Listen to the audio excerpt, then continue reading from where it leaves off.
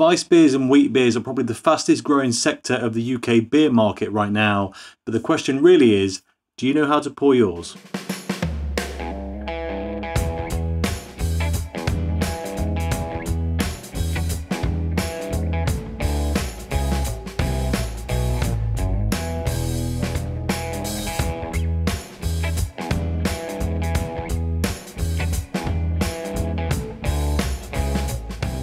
Hello and welcome back to the channel. And yes there has been a lot of talk recently about Weiss beers, wheat beers, wit beers which is slightly different but related. But you know the wheaty, foamy, frothy, good German stuff. And actually a lot of UK craft breweries are starting to make their own as well which got me thinking well, actually, no, that didn't get me thinking. What got me thinking was a few weeks ago, I sat in this very spot with this very camera, very microphone, everything else, looking at these two beers and I just basically wanted to come to a conclusion about which of the generically best supermarket wheat beers or Weiss beers were the best ones. These are available in pretty much every UK supermarket. We've got the Erdinger Weiss beer and the Franziskaner Weiss beer and yeah, it was just a comparison test. I did the video, I did it to full, but I wasn't happy with it because, well, firstly, the pour was catastrophic on both of them. It was going everywhere, and I was just like, I don't really know what I've done wrong. I've had these before and not had quite such a big issue. I've had plenty out and about and they've been very nice. And then when it came to tasting, they were also just not quite there, not what I remember. Thankfully though, a very helpful subscriber of mine put a comment in who is actually from Germany, knows a lot about Weiss beers and kind of gave me a few tips. I'll pop that on screen now as well, which incidentally was actually on a previous video where I probably poured one badly as well because that one never actually made the light of day. But I thought I'd go on a mission to find out exactly the best way to pour one of these style beers so you don't have to make the same mistake that I did because I, well, I'm clearly an idiot. So I will tell you a bit more about both of these beers and what I think of them, but to be honest, I don't really want to release that video because I don't feel like it was a true test and because in some ways the way you pour it will massively impact the flavour. So let's get right down to that first. Which one are we going to go for though? We're just going to do one of these today and I'm thinking I'm thinking Franziskaner, actually. I think I'm going to go for the Franziskaner. I'm going to pop the Erdinger over to the side here. And then, yeah, let's get into this. So, what do you need? You need a nice, cold bottle of Weiss beer. It's, I'm sure everyone's seen this before. It is just properly nice stuff. Set it down. Don't shake it about because first thing you need to know Weiss beers are much more carbonated than pretty much any other beer style, including lagers, which means, well, their tendencies to get excitable are very, very high. With all that in mind then, your glass of choice is pretty damn important. Now, obviously, if you've got a real legit Weiss beer glass, they look like this, uh, then great, go grab it. But if you're like me and most people in the UK, we, we just don't have them. I would love some. I don't really drink enough of them to go and get one, and then also it makes it difficult then to do comparisons if you've only got one. I don't need it. Beer review problems, very much, very specific to me there. But Anyway, normally what I'd do is I'd go for something that was just elegantly shaped, a pint glass, and I've got a few of these different shapes. Some are a bit taller and more bulbous like the proper Weiss beer glasses. It doesn't matter what I've poured it in, it never quite works. And the reason, one of the reasons at least, is on the end there. Can you see that? See all those little bits on the bottom? I never remember what they're called. But the little ditties in the bottom, they excite beer basically. That's what gives you a nice head on your lager, and that sort of thing. So we don't want one of those, which means you need a pint glass, ideally, with nothing on the bottom. Now, mm, that's going to limit you a bit. That's even going to limit you to like tankards, very trad pint glasses, but there are a few this style. You know, kind of the straight up taller ones.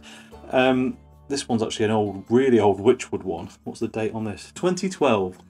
Uh, you can date pint glasses, by the way. That little M number. With that, there you go. See that M12? This was 2012. Now, you might also notice there's a bit of water in the bottom of here.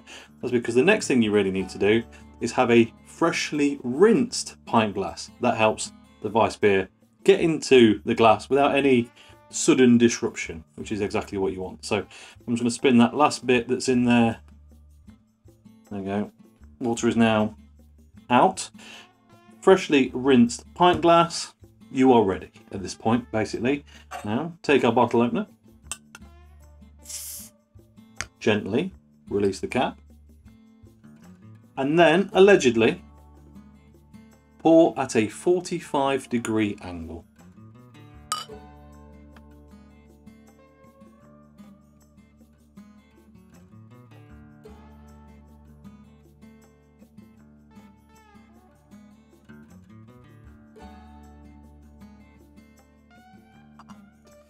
Now, you'll notice already that is a much better experience than those videos I showed you earlier of me doing it and it just going everywhere.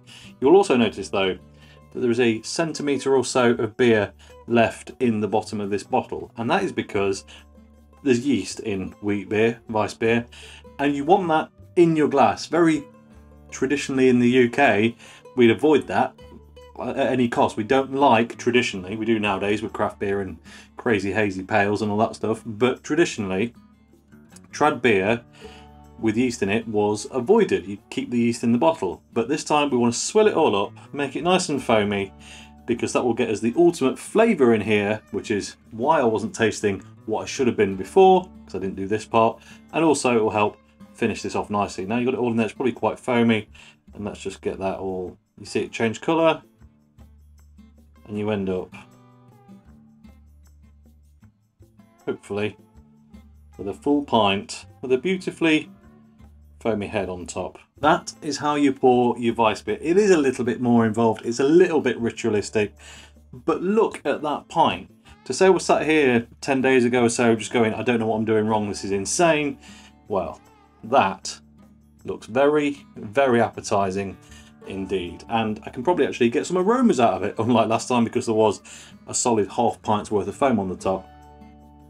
It's got this beautiful, velvety, sweet confectionery, the squishy sweets, kind of kind of like Belgian yeast, but it's slightly different than this. It's a bit more, you know, foamy banana, a bit of coriander seed, a bit of a bit of spice anyway, a little bit of spice. It's just bready. It's what you expect from a proper German beer. So let's give it a go.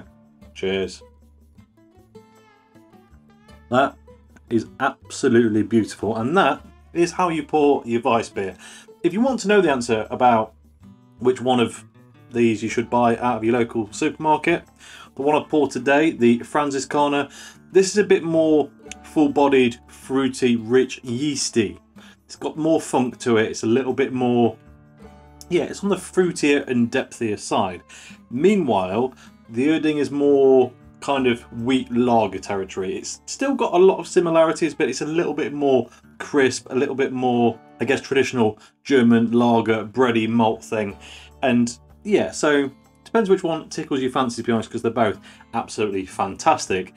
There you go, you didn't need me to put out a 15 minute video to come to that conclusion after all. But whichever one you buy, that's how you pour it. And it turns out it works, so I'm happy.